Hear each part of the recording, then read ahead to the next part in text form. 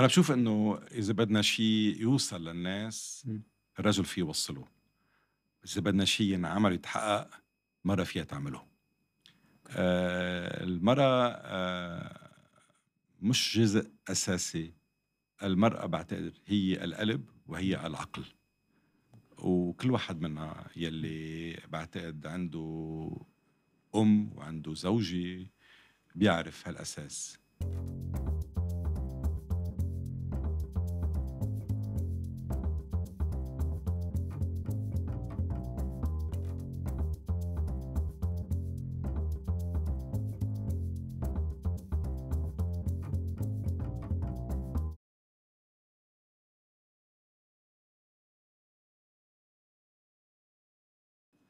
ريكاردو كرم مرحبا وأهلا وسهلا فيك ب Hyde Park. أهلا فيك شكرا.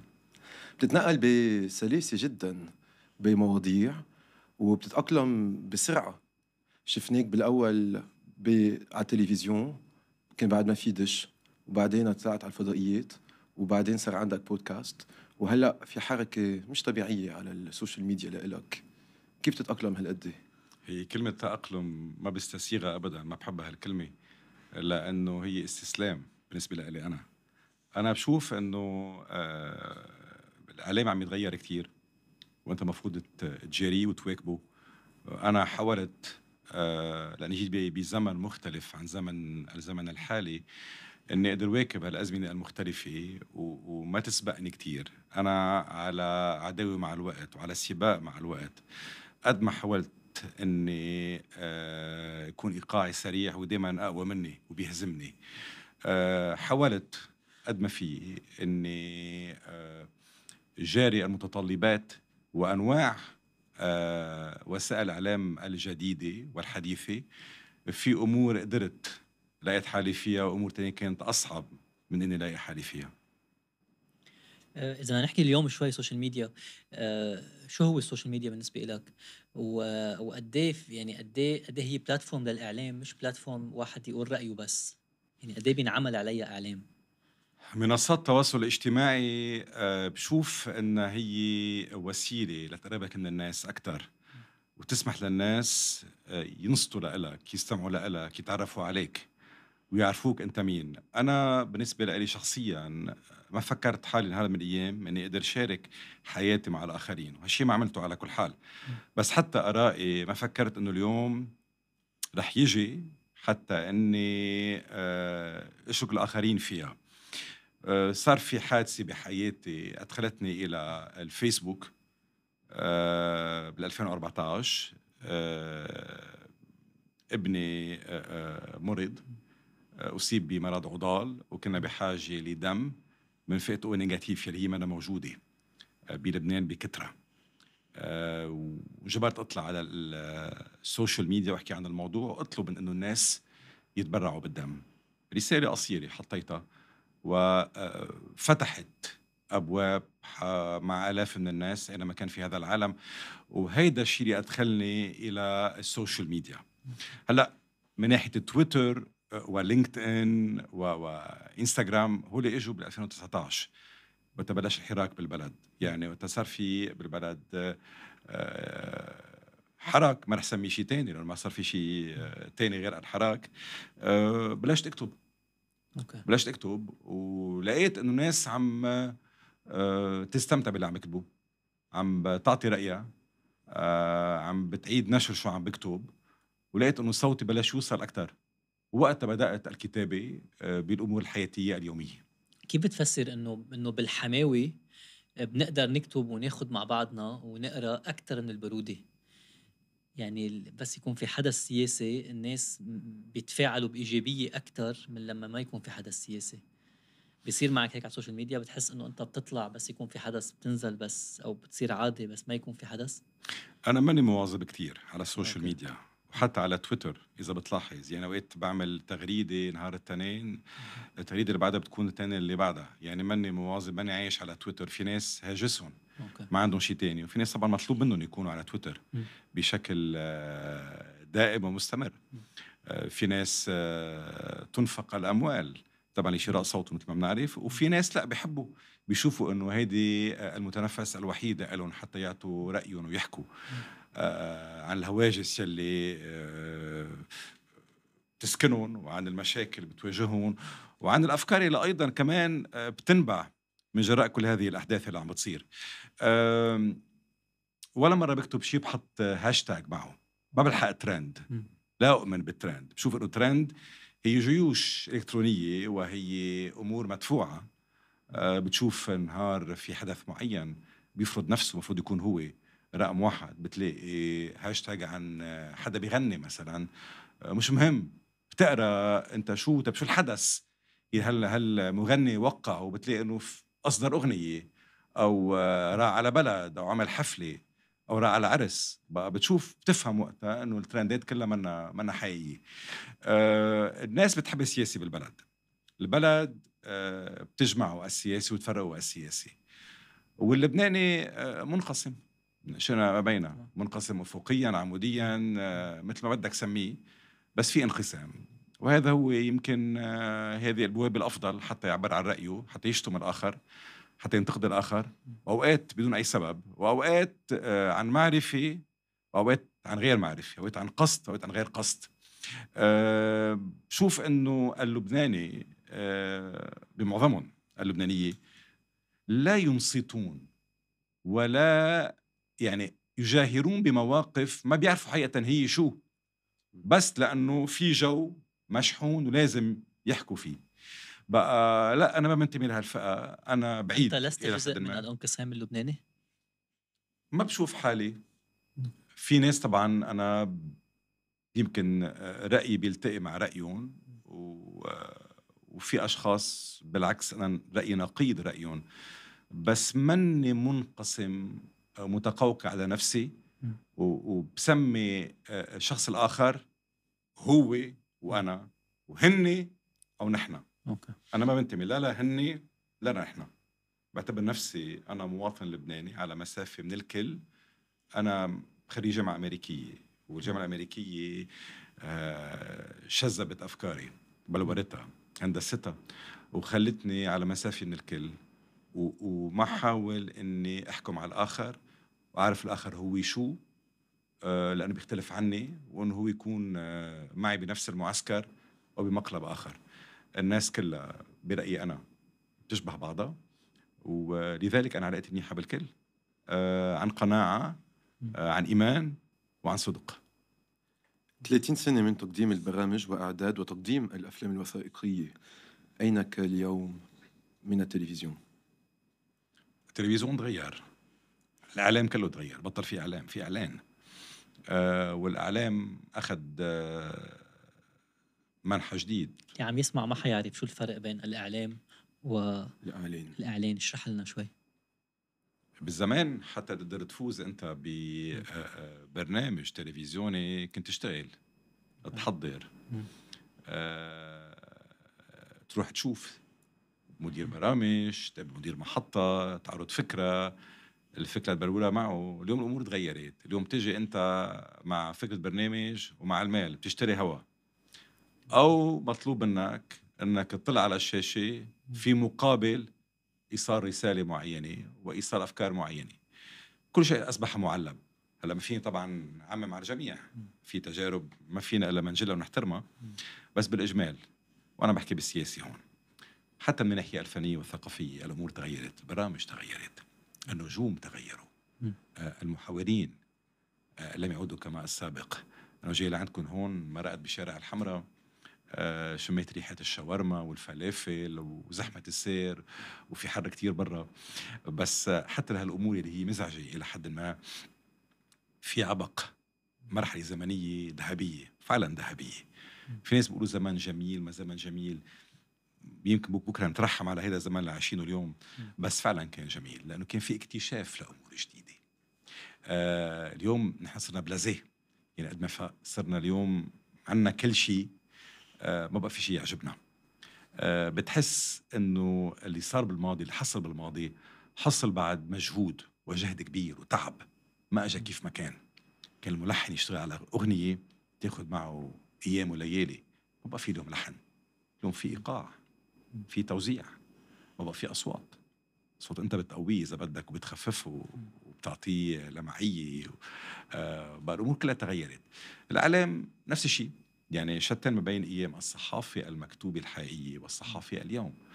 شتان ما بين التلفزيون آه يمكن بعد الإذاعة إلى حد ما آه في عندها رونق آه مرتبط إلى حد ما بالماضي. نحن دائما نسعى و... ونجاهر بأن نود بناء مستقبل. لكن المستقبل دائما مجهول ما بنعرف شو هو. نحن الذي نريده فعلا هو مش الانتقام من كل ما حصل في الماضي ولم يكن كما شئنا. لكن نريد أن نغير أخطاء الماضي. هذا ما نسعى إلى إلى إلى فعله فعلا في المستقبل. بنشوف إنه في أخطاء عملناها نحن عملوها اللي قبلنا نحن. ما بدنا نصلحها. ما بدنا تتكرر. بقى هكذا أرى المستقبل. أرى أنه يساعدنا على هضم الماضي فهم الماضي تغييره أه وتصليح الشوائب اللي فيه. شو في أبرز ثلاث أخطاء بيخطروا على راسك هلأ بتحس هول لازم نحن نصلحهم؟ سواء على المستوى العام أكثر من الشخصي بس إنه بالشخصي وبالعام. القضاء ثلاثة بيخطروا على إيه؟ القضاء الدستور اف آه. شيء معين بالدستور أو الدستور بشكل عام؟ بشكل عام الدستور. آه. لم يعد يصلح في هذا الزمن. يجب تغييره. مش نسفه بس تغييره وتعديله. و بالإعلام. تعديل اي مواد بالدستور. بعتقد الدستور اليوم أو أي روحانية فيه. أنا إنسان علماني جدا لا أؤمن بالطائفية وأرى أن الطائفية السياسية هي مقبرة لنا. أنا ما بشوف أنه اليوم لازم يكون رئيس المجلس شيعي ورئيس الجمهورية ماروني ورئيس الحكومة سني. يجب أن يكون الشخص المناسب في المكان المناسب. وبشوف أنه هذه الطائفية هي مقيتة صحيح لكن رجعتنا سنين لورا.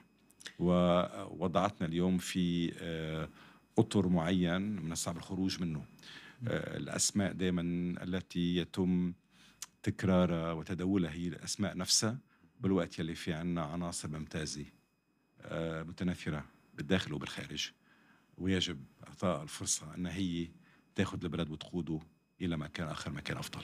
ريكاردو ليه هيدي النخب يعني اللي بتعبر عن يلي هلأ أنت عم تعبر عنه ما قدرت يعني ما قدرت تترجم حتى التفاف الناس حواليها. يعني أنت بنجي بنشوف مثلا على ال social media التفاعل معك بيطلع قد كل النواب التانيين مجموعين التفاعل معهم.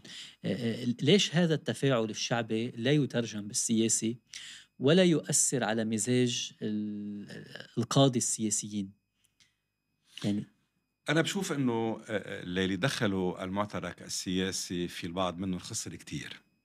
هن بيعتبروا إنه طبعا إذا صاروا اليوم نواب أو وزراء هن وصلوا إلى القمة. آه هالشيء بذكرني بداياتي وقت بدأت بالتلفزيون أول مرة حورت آه نايب أو وزير كنت بعدني عمري 22 سنة. اعتبرت انه شيء مهم عم حاور نائب ووزير. وتحاورت رئيس جمهورية كان وقت الياس الهراوي. بالسلطة أنا عم بحكي بعام 95 كان بعدني ولد يعني باوائل العشرينيات. اعتبرت إنه هيدي القمة بحياتي. بقى هالشيء بيذكرني اللي عم تسأله أنت بهديك المرحلة. أه بشوف إنه ناس أه بيدخلوا أه عالم السياسي بيخسروا كتير. لأنه الناس بتكتشف الحقيقة. وهن أيضا من كثر ما الأمال بتكون معقودة عليهم وأمال عالية جدا بتخلي ناس تصيب بنوع من الأحباط ونوع من الخيبات. أفضل أوقات ناس يبقوا خارج المعترك بيكون في عندهم وهج أكبر بيكون في عندهم وقع أكثر بجرب الأمور أوقات بجرب الإنسان وتفاجأ بحقيقته. بقى بشوف بشوف إنه الإنسان اللي ما بيقدر حقيقه يقدم على خطوة هو أدى ما يقوم فيها أفضل. خلينا نحكي على الإنسان. البرنامج اللي قدم برامج اللي قدمتها متعددة جدا. مرايا وراء الوجوه مع ريكاردو كرم حديث آخر طريق الأمل. صادفت من خلالهم ضيوف البعض بيسميهم ضيوف مخمليين. بس هن ناس مثل دالاي لاما فرح ديبا بالافي نور الحسين بيل جيتس لوتشانو بافاروتي فالنتينو زها حديد وغيرون هؤلاء الأشخاص اللي تعرفت عليهم اللي حكيتهم؟ تحت الهواء وعلى الهواء شو أكثر شيء جذبك فيهم؟ وشو العبر اللي ممكن تستخلصها من هذه الأحاديث وهذه المناظرات؟ إذا فينا نقول. في يضيف شيء أنا بحشرية. مين كان يتصل فيهم؟ يعني كيف كنت توصل للدلاي لاما؟ نحن تنوصل لك تعذبنا مدري قد إيه. فالدلاي لاما كيف كنت توصل؟ لحلك بعدني لليوم بعد كل آه، ردح الزمن هذا بعدني أنا يعني أنا بشتغل بعمل كل شيء عندي فريق عمل كبير. بس ما تعودت أو ما تعلمت إني آه، آه، أقدر أعطي الآخرين مش الفرصة الحيز للقيام بمهام لازم أنا أعملها. بعدين هلا أنا بتصل بالضيوف تبعي ضيوف الكبار عم بحكي أكيد. هلأ أنا جيت بزمن مختلف. أول شيء ما كان في إيميلات كان في فقط فاكسات وتليفونات. بزمن ما كان في إنترنت. بزمن ما كان فيك تفوت أنت وتجمع معلومات من خلال النت.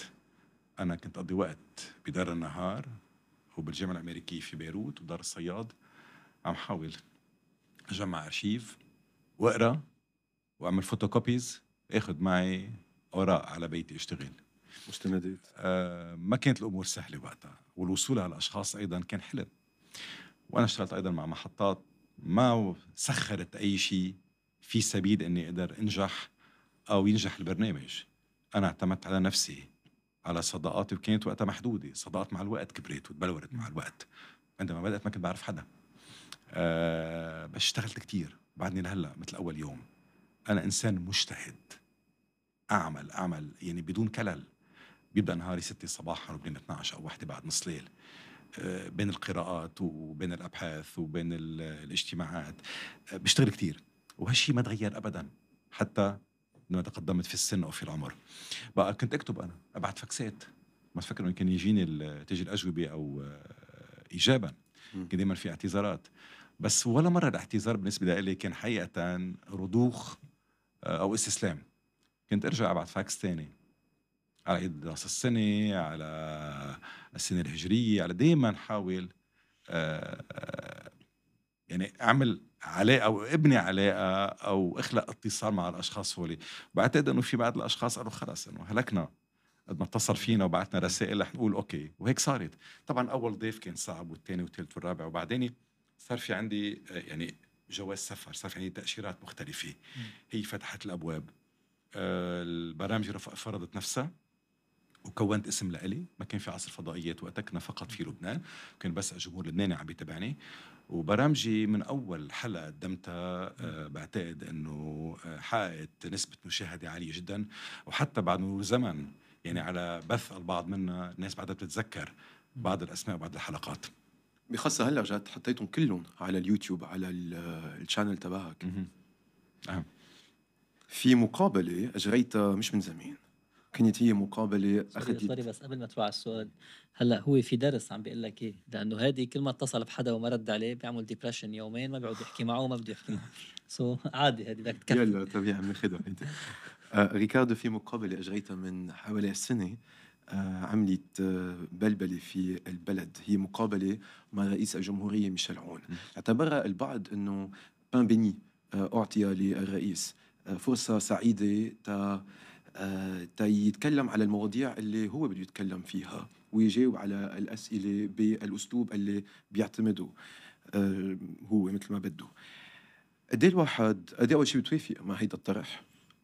و... وفي أسئلة تانية مثلا قد الواحد بيقدر يحاور السياسيين من دون بلايقة بلباقة من دون ما يقطيش وياخذ المعلومات اللي لازم ياخذهم بما فيها المنفعة العامة؟ الرئيس ميشيل أنا ما شفته من وقت إقامته في باريس. يعني رجع إلى لبنان 2005 طبعا كان في آه، فوزه الكبير بتسونامي مثل ما سماه وليد جنبلاط آه، وهالفترة كلها ما شفته فيها. آه، وقتها كنا طبعا عم نحضر بلبنان عم نحضر معنويا أكثر من هي فعليا للمئوية مئوية لبنان الكبير. آه، أنا فكرت إني أعمل لقاء مع الرئيس هون وطرحت الفكرة. آه، بتعرف هو ما عنده جسم آه، إعلامي بيحيط فيه. يعني معلش رح اكون كثير يعني متجرد وحقيقي وبدون أي دبلوماسية. ما عنده فريق إعلامي محترف. كان فريقه الاعلامي آه، كثير محدود. طرحت الفكرة طبعا البعض كان أيد والبعض الآخر لا لم يوافق. وبعدين آه، صار اللي صار. صار انفجار أربع آب. والفكرة آه، طرحت إنه لازم يصير في لقاء تلفزيوني والتقيت فيه وقت المقابلة بكل بساطة. لم يفرض علي أي شيء. ما حدا اطلع على الأسئلة. رئيس عون كان بالمقابلة لحاله نزل آه، قبل بربع ساعه من بداية الحوار وأنا فوجئت حقيقة كنا محدود ال- كنت عم حطوا لي make up لقيته قاعد الرئيس عون لحاله على الكرسي كان بانتظاري. آه، وأجرينا الحوار. وأنا بشوف إنه يلي استمع للحوار يلي استمع للحوار يلي بده يستمع للحوار آه، شاف إنه كانت أفضل مقابلة أعطاها الرئيس عون. بعتقد إنه الأمور اللي قالها كان بغاية الأهمية بغاية الوضوح آه، وكان لقاء مهم جدا آه، في مسيرتي أكيد آه، في نص البلد كان ضد اللي صار كان في هجوم كتير حتى من أصدقاء لإلي وفي ناس أثنوا على اللقاء مثل كل شيء بالحياة. بس بشوف إنه كنت متجرد جدا وما كان في أي قيود والأسئلة كلها طرحت. اللي صار إنه كان المفروض اللقاء يكون أطول من هيك لكن آه، صار في ضغوطات من شخص معين إنه بدنا نوقف. بعدين صار في اعتذار إنه أنا ما كنت عم بطلب نوقف أنا كنت عم بطلب ناخذ بريك للأسف كان في أسئلة كثيره بعد مفروض تنطرح ونطرحها وكان رئيس مبسوط وما كان بده يوقف ابدا. وهيدي أول مرة بقول هالمعلومه هيدي بخبر عنها هي حلقة طويلة لأنه اللي طالعة هلأ الموجودة كمان على يوتيوب طولها حوالي ساعة و12 دقيقة. وكان منها كنت أطول هي. طبعا آه، كان المفروض تكون أطول. بس هالشيء ما حصل. آه، ما تنسى أنت عم تحكي بعد أربع آب. أنت عم صح. تحكي عن بلد آه، بلد منهار آه، بلد مكسور مدينة مدينة على الأرض. الناس كلها من جوا في في ظلم بداخلها. ورئيس البلاد يلي أيضا نص البلد ضده عم يحكي. الناس كلها كان بانتظار هذا اللقاء.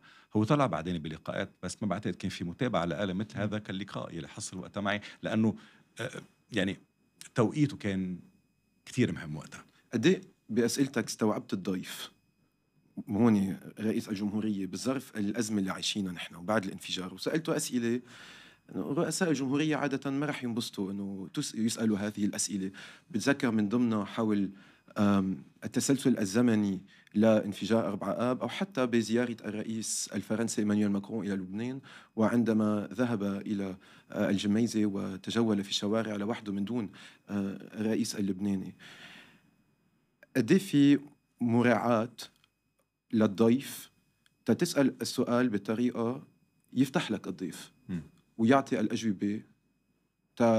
نخلق شوي قد ما فينا هال depolarization اللي عايشينها نحن ونقدر نحصل على أجوبة قد ما فينا ناخد منها. لأنه ما في تنسى بعد في ترجمة اللي عم يجرب هادي يقوله. آه، في في الصحافي يكون يسأل شو ما بده ويضل آه، شخصية بيستقبلوها السياسيين؟ آه، الأسئلة بتختلف عن بعضها. رح جاوب مين أول آه، هادي أو هادي. آه، غسان. آه، هادي. آم، أنا بشوف إنه آه، كل صحافي أو كل إعلامي أو كل محاور بيتمتع بأسلوب معين. والأسلوب آه، هو يلي بيسمح له أو بيتيح الفرصه له إنه يفتح كل الأبواب المستغلقة. في طريقة بطرح السؤال. وبعتقد إنه آه، يعني بعد كل هذه التجارب والخبرات اللي اكتسبتها مع الوقت في عندي طريقة بطرح السؤال ما بتزعج الآخر. آه، وما بعتقد إنه الرئيس هون انزعج من أي سؤال. بعتقد ما بعرف يعني ما بعتقد.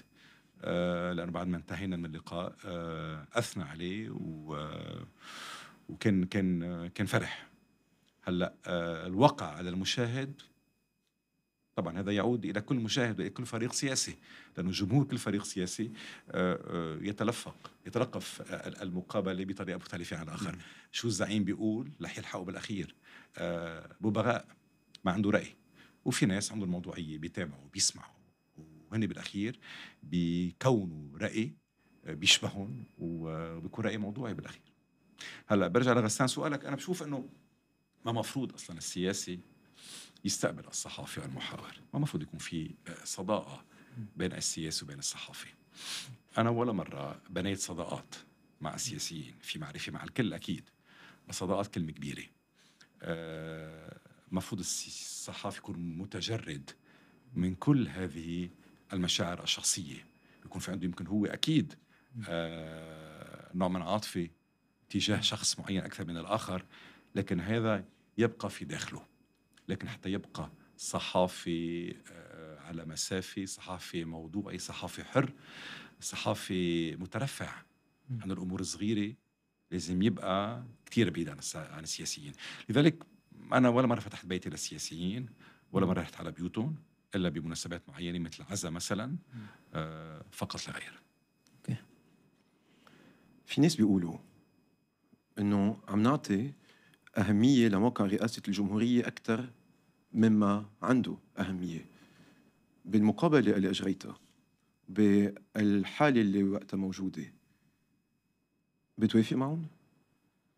إنه رئاسة الجمهورية تعطى لها أهمية أكثر مما لها؟ أنا حاولت رئيس بلادي آه ومين ما كان رئيس بلادي بدي حاوره بنفس الأسلوب بنفس الاحترام آه وإذا ما رئيس بلادي أنا ما بحترم بلادي ولا علم بلادي. هذا شيء طبيعي. آه بيقولوا شو ما يقولوا مش مهم. المهم أنت تكون مقتنع باللي عم تعمله. آه لا رئاسة الجمهورية طبعا آه تبقى هي طبعا الأساس ورئيس الجمهورية يبقى هو الرئيس الحكم آه الذي سيحكم في العدل والذي يجب أن يكون على مسافة من الفرقاء المختلفين. هكذا أنا ارى رئيس الجمهوريه آه بعتقد إنه الرئيس عون بكثير أوقات حاول يكون هو حكم وبأوقات كتير آه للأسف آه كان حاز أكثر لفريقه السياسي. آه وطبعا لهذا الشيء أسباب خصوصا أنه هذا العهد اتسم بنكايات يعني كان عهد انكايات آه, آه، وكان عهد منذ البداية كان في إرادة إرادة آه، آه، شاملة لإفشاله. طبيعي إنه بالأخير هو رح يلتم أكثر ويتقرب أكثر من فريقه السياسي. آه، لكن رئيس الجمهوريه يبقى هو الموقع الأبرز والأهم في الكيان اللبناني. ريكاردو بعيد عن السياسي آه، هيدي يعني الحماسة اللبنانية للانكيات. آه، كيف في واحد كيف أول شيء بتشوفها كيف في واحد يتعامل معها كيف في واحد يتجاوزها يمكن المفروض يتجاهلها. بكل بساطة. ما فيك تغيرها. نحن بلدنا قايم على انكيات يعني المواطن بيدفع هو الثمن ما فرقت معنا. ما عم بحكي عني أنا وعنك أنت بحكي عن السياسي. ما فرقت معه آه طالما فريقه هو آه بده يحاول آه, آه، يكسر الفريق الآخر إذا آه الشعب مات من الجوع إذا الشعب مات من الشوب إذا الشعب ما في عنده أي آه، ضمانة آه، ما عنده مشكلة. المهم إنه الشخص الآخر يلي هو بيعتبره هو بعرين مختلف بيعتبره هو مش منافس بيعتبره عدو له طالما هو رح يفشل أنا مع هذا الفشل. شو ما كان الثمن بدي كفي بالخروج عن النص شوي. مرقت قبل شوي عن التفجير بأربع آب. أنت حدا بيروتي وعلاقتك مع بيروت بالمبدأ كتير حلوة. آه، أول شيء آه، كيف بعد علاقتك مع بيروت كتير حلوة؟ آه، برغم كل ما لقيت فيه المدينة كيف قدرت تحافظ عليها هذه العلاقة؟ وشو يعني هيدا التفجير بحياه ريكاردو كرم؟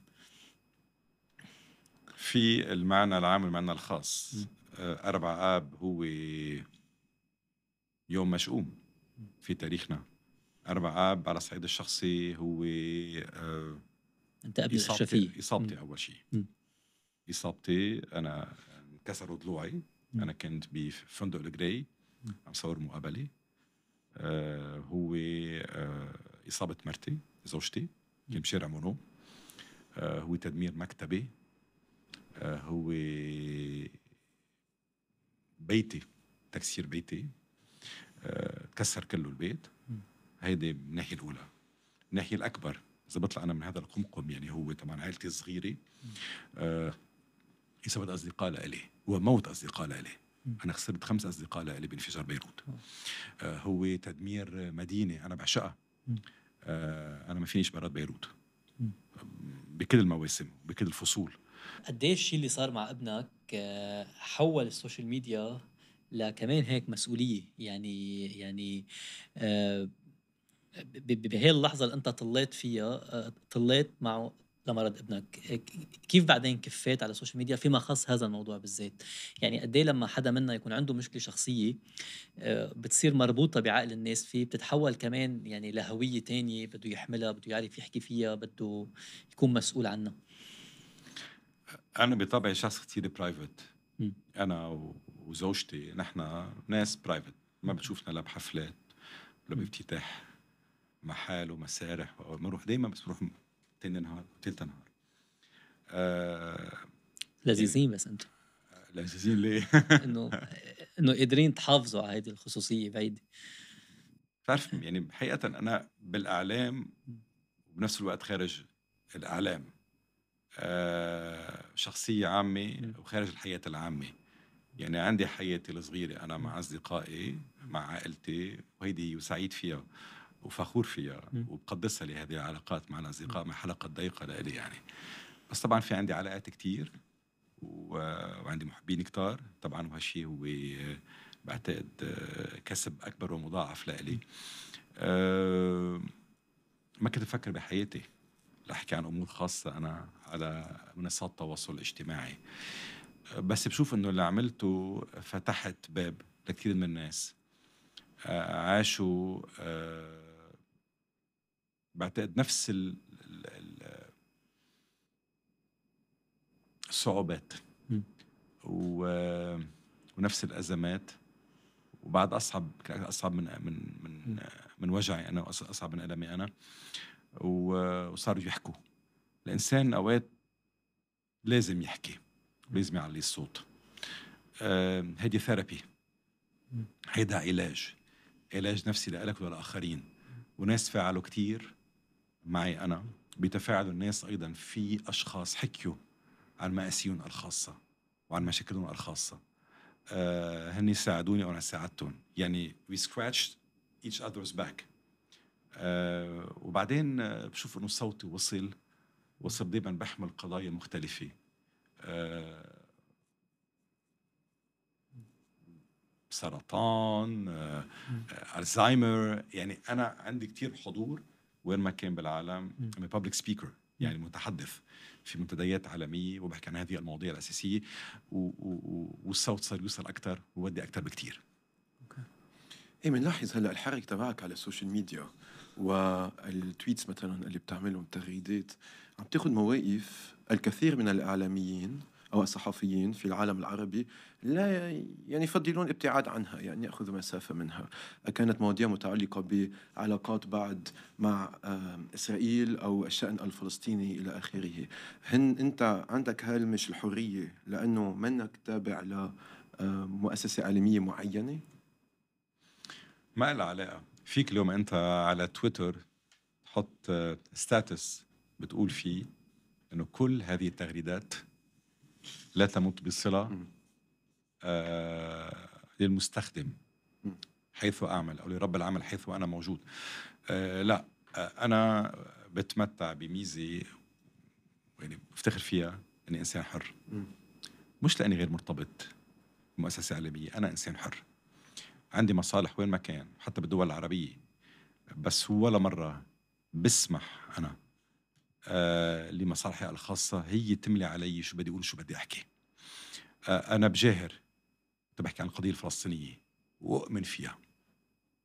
أؤمن فيها. أنا ما بتخيل إنه أنا اليوم ولعانه بغزة وإنه أنا معيش مع أهل غزة.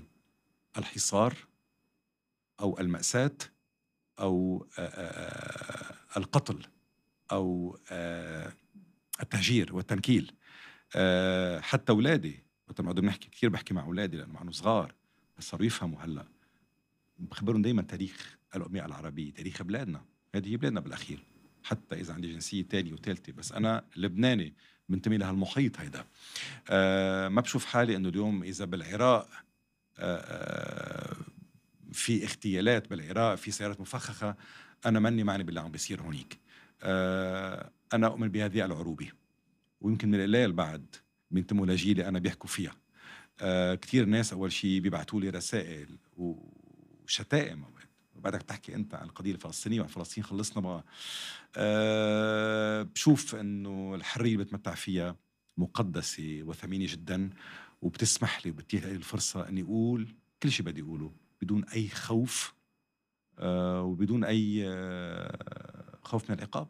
في ناس حرام يعني بحزن عليهم لأنه في عقاب آخر النهار يا بيطير من وظيفته أو آه، بيتم طرده من بلد معين أو أنا عندي حرية ولحافظ عليها ما رح اغير هل هذه العروبة هي التي دعتك إلى آه، تأسيس جمعية تكريم؟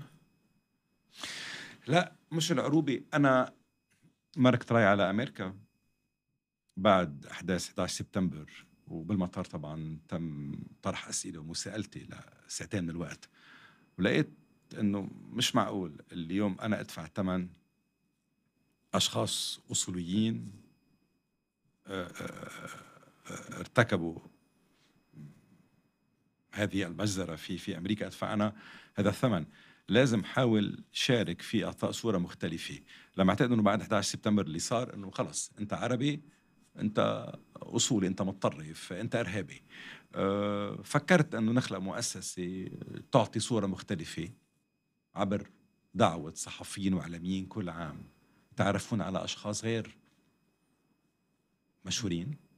أشخاص يعملون في الظل change makers بيحاولوا يغيروا بمجالات مختلفة. وبنفس الوقت بسمح للشباب العربي يتعرفوا على وجوه من بلادهم آه، بحد ذاتها هي آه، مصدر وحي يعني source of inspiration.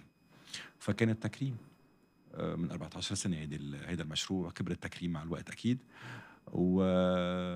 وأنا فخور إنه هال foundation آه، كبرت مع الوقت تبلورت وصار في عندها حضور وهي في صدارة المؤسسات يلي تمنح جوائز نظرا لمصداقيتها لشفافيتها ولكون على مسافة من الجميع لا آه، تمت للسياسة بصلة لا تمت للبقعة الجغرافية بصلة ولا تمت للدين بصلة. فيك تعطينا نماذج عن خمسة change makers آه، براسك رئيسيين حلوين؟ أستغفر فيك آه، بتكريم أو بحياتي؟ بتكريم. لا أنت برأيك هول هني change makers حقيقيين؟ رح أرجع للناس اللي استقبلتهم بحياتي يلي حاورتهم يلي تركوا أثر كبير بحياتي. ما فيني ما أتذكر ليلى عسيران يعني ليلى عسيران الروائية والكاتب بيعتبرها من الأشخاص آه، يلي آه، ثاروا على المألوف. وقت ليلى سيران بال 67 يعني آه، ثارت على النكسة والعالم العربي. وكتبت اللي كتبته. بعتقد ما حدا كان وقتها بيتجرأ ليلى سيران بنت سيران وزوجة أمين الحافظ. ليلى مغيزل اللي كانت رائدة طبعا بالقانون هي وزوجها. وقدروا شكلوا ثنائي آه، طبع العصر اللي انتموا لهم آه، بتطلع أو بفكر ب آه، يمكن أمين معلوف أمين معلوف الرواية أيضا يلي حوارته لأمين معلوف؟ إيه ثلاث مرات. ثلاث مرات. ثلاث مرات. أوكي. شوف إنه أمين معلوف قدر عطى للرواية اللبناني هذه الشهرة العالمية. هلا طبعا في ناس إجوا قبله بس طبعا ما قدروا وصلوا آه إلى هذه الشهرة اللي هو بيتمتع فيها. بحكي عن جورج شحادة بحكي عن صلاح ستيتية آه أمين سبقهم برأيي أنا. change آه maker أكيد أمين. آه أكيد اعتبرته change maker طبعا هي السيدة فيروز يعني ما في شك إنه السيدة فيروز يلي هي منا مطربة عادية هي مطربة حضارة بحد ذاتها فيروز هي مملكة بحد ذاتها. أه وأخيرا بفكر بهدى هبري هدى زغبي أه يلي أه هي باحثة وطبيبة في هيوستن أه تعمل على أه, آه، إيجاد حلول وعلاج آه، للأمراض آه، الزهايمر آه، وكل ما له علاقة بالنيورونز وبالعصب. هو بالنسبة لي من الأشخاص الأبرز يمكن فكرت فيهم هلأ يلي أثروا فيي وغيروا كثير أمور بحياتي. من أصل خمسة سميت أربع نساء. أه خبرنا كيف يعني وين بتشوف دور المرأة التغييري وين بتشوف دور المرأة القيادي بالمجتمع؟ خصوصا لما نحن عم نحكي عن يعني في اثنين كتاب ف, ف بغيروا الراس من أساسه. فأي دور للمرأة بنظر ريكاردو؟ أنا بشوف إنه إذا بدنا شيء يوصل للناس الرجل فيه يوصله. إذا بدنا شيء ينعمل يتحقق مرة فيها تعمله. آه المرأة آه مش جزء أساسي. المرأة بعتقد هي القلب وهي العقل. وكل واحد منا يلي بعتقد عنده أم وعنده زوجة بيعرف هالأساس. هي مش عنق الرجل هي قلب الرجل وهي عقل الرجل. آه أنا بحكي عن حالي وبعتقد أنه إن كانت والدتي أو إن كانت زوجتي آه أنا مدينة لهم بكل شيء بحياتي وما بعتقد قدرت حققت اللي حققته لو ما هني كانوا بحياتي. بقى آه المرأة تصنع المستحيل آه تهزم الممنوعات تقفز فوقها وتصل إلى كل ما تريد تحقق كل أهدافها وأهداف عائلتها كيف تفسر آه، آه، أكثرية المسؤولين اللبنانيين وحتى بوظائف أقل يعني مدراء عامين رؤساء بلديات إنه بيكون قاتل حاله تيوصل بس يوصل بيطفي وبيقعد وبيرتاح وما بيقعد بده يعمل شيء بيعتبر خلص خلصت المهمة. لا في أشخاص بيفوتوا مع كل النوايا الحسنة اللي عندهم أنا مثلا كان معي على ال board وصديقة لإلي نجاة صليبة. أوكي. نجاة إنسانة ممتازة مثلا نجاة. ومع كل ال good will يلي عندها إياها وكل النوايا الحسنة اللي عندها إياها. ونجاة إنسانة صادقة. وإنسانة نشيطة وشغيلة. أه الحقيقة أنا برأيي احترقت نجاة. احترقت. السياسة ما شغلتها. كيف تعمل وزيرة مش نايبة. وبرأيي كان خطأ. انه وصلت على الندوة البرلمانية عظيم. بس خسرت بعدين موقعها بالجامعة الأمريكية في بيروت برأيي أنا كنت عم تربي أجيال وأجيال وأجيال بيحلفوا فيها. يعني بس هيدي المحرقة كثير كبيرة. يعني إذا بنفكر عن جد بآخر عشر سنين قديش مرق ناس في منهم ناس منيح. كله احترق. شو العمل مع هيدي المحرقه في ناس كثير منيح. أنا بشوف مثلا بحكومة حسان دياب كان في وزراء ممتازين مثلا. ممتازين. ما حدا بيذكرهم اليوم. احترقوا. احترقوا. كيف واحد بده يتجاوز هذه المحرقة؟ كيف واحد بده يتجاوز كمان هذا الشيء الروتيني؟ إنه أنا بوصل ما ب... ما بقدر أعمل أو بزهق أو بتعب أو ما بيخلوني. كله الأخبار. غسان بعتقد نحن قبل 2019 ولا مرة حاول حدا منا قول بدي غير. حلو كتير. ولا مرة حدا رفع الصوت. ولا مرة حدا علّى الصوت.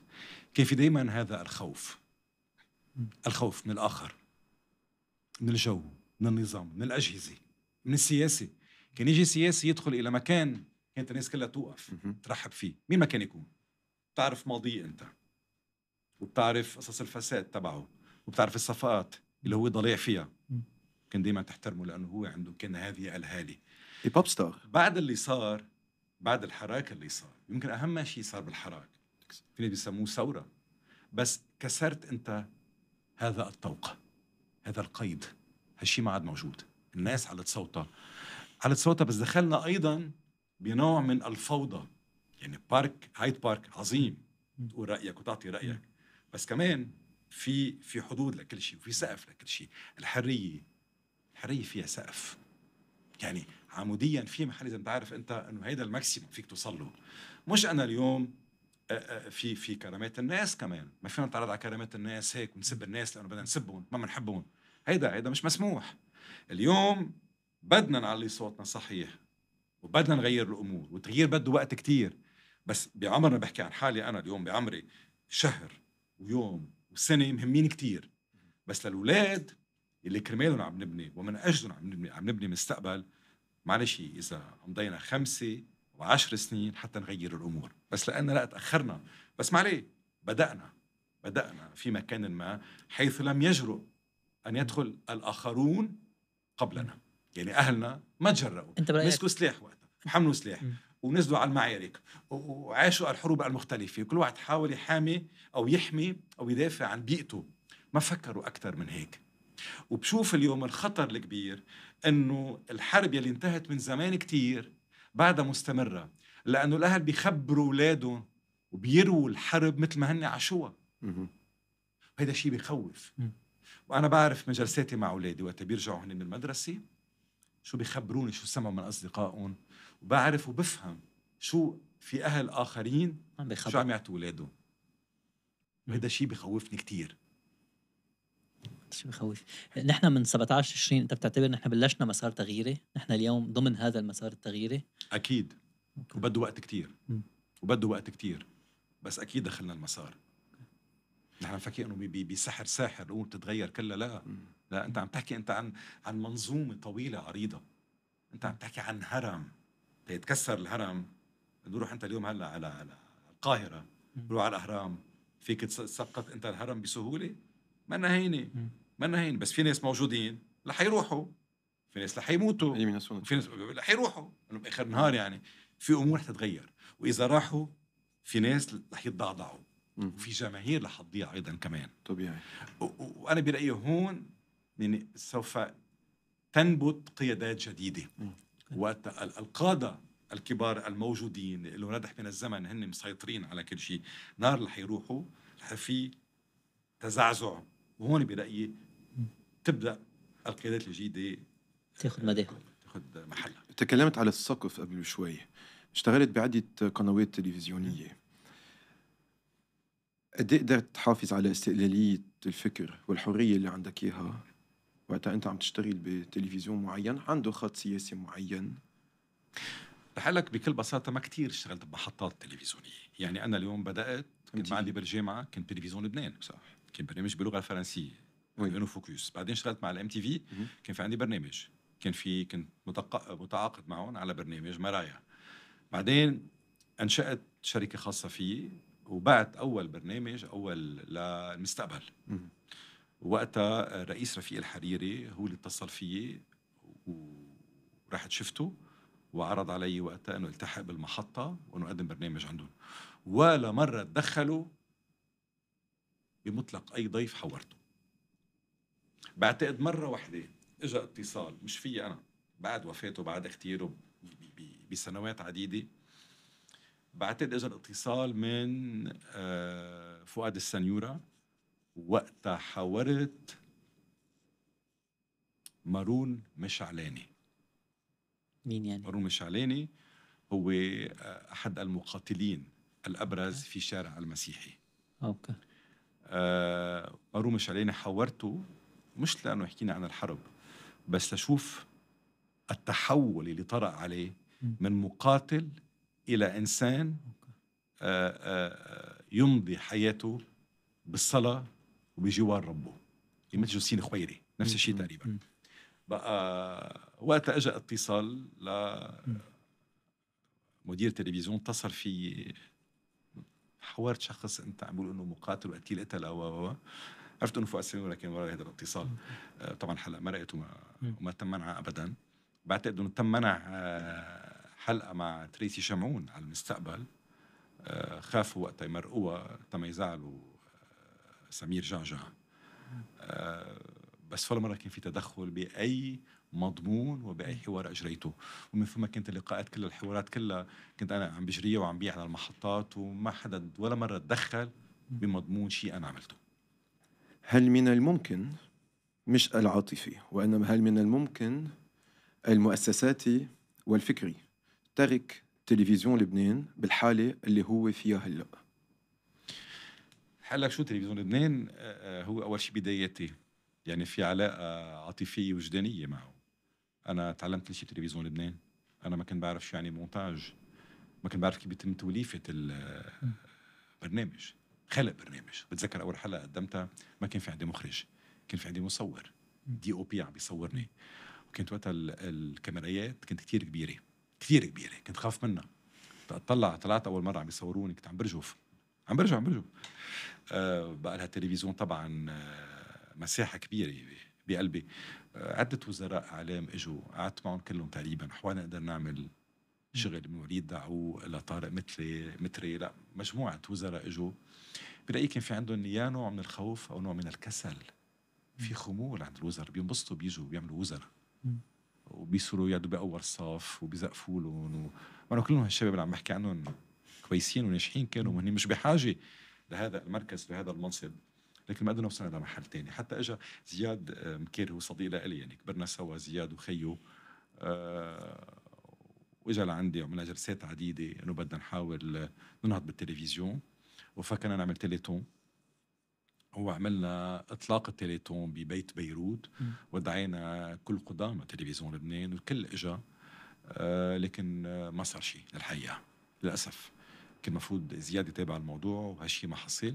بشوف إنه تلفزيون لبنان كان بيسخر بالطاقات الكبيرة والمهمة وحرام ناس كانوا بيعزهم ب 30 و40 سنة من عمرهم يقعدوا بالبيت. وبعدهم لهلأ إن كانوا المذيعات أو المذيعين أو المخرجين أو كل التقنيين اللي بيشتغلوا بعتقد إنه في عندهم حرفية وفي عندهم آه، قدرة على آه، إعادة النهضة بهالتلفزيون. بدك بس قرار بدك تمويل. والتمويل منه مشكلة. أنا برأيي مش مشكلة تمويل أنا كيف فيني أعمل التمويل؟ مش مني أنا. بس فيني أجيب من الدول العربية كان تمويل لإعادة نهضة التلفزيون. آه، بس للأسف هالشيء ما حصل. الدول العربية تمويل لتلفزيون وطني رسمي لبناني؟ ما عم بحكي من الحكومات. من أفراد ومؤسسات. بس أي دور بتشوف لتلفزيون لبنان؟ في أنا بشوف تلفزيون لبنان في يكون تلفزيون مش سياسي. في يكون تلفزيون ما رح أقول مثل تيفا أو مثل أرتي. بس ليش لا؟ ليش لا مثل أرتي؟ بعتقد مع ال ال الأرشيف اللي عنده إياه. ومع البرامج فينا نعملها جديده اليوم. ثقافية ترفيهية برامج توجيهية. مش توجيهيه مثل ما يعملوها بزمانات التوجيه مش توجيهيه فيك تعمل عمايل بهالتلفزيون ومع الناس يلي أولاد التلفزيون فينا يكونوا يشاركوا بهذه النهضة بهذه الورشة.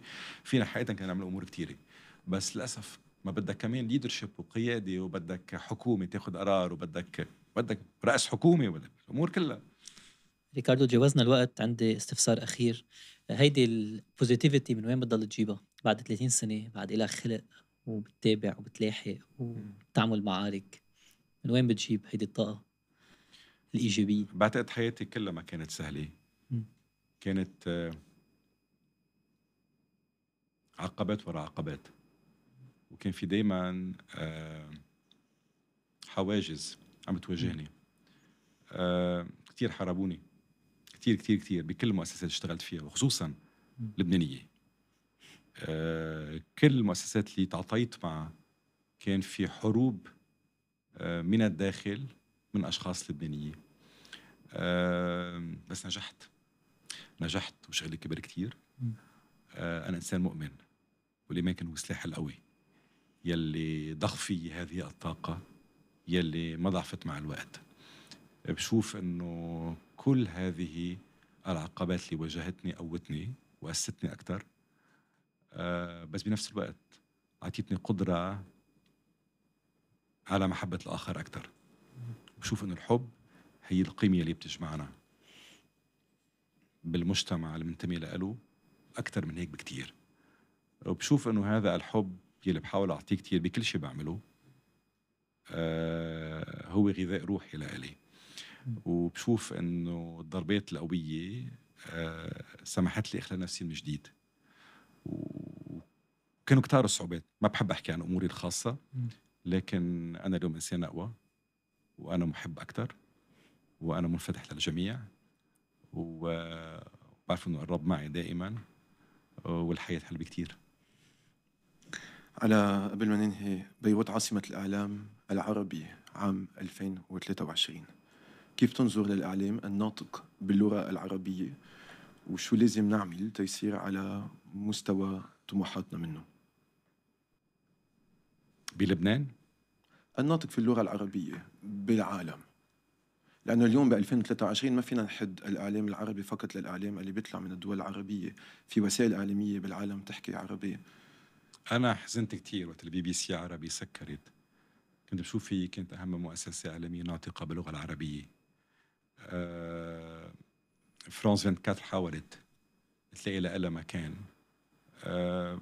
ما فشلت بس ما كان هذا ذاك النجاح المدوي. المؤسسات العربية الأخرى في أوقات وصلت إلى يمكن آه، آه، نسبة مشاهدة عالية لكنها بعدين سقطت. بعتقد الجزيرة حبينا أو ما حبينا. فيها حرفية وفيها احتراف. ما حدا عنده إياه. آه هذا من ناحية الإعلام المرئي. من ناحية الإعلام المكتوب وسائل الإعلام المكتوبة قليل كتير كتير كتير. ريكاردو كرم شكرا لوجودك معنا بهايد بارك. سعدي لي يكون معكم.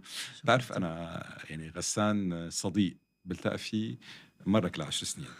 بس كل ما بيكتب شيء أه ببعث له رسالة. بنبسط فيه عنده جرأة عنده شجاعة آه، عنده صلابة وعنده شفافية. في كتير ناس ما بيحبوه بس أنا بحبه وهو بيعرف هالشيء Thank you.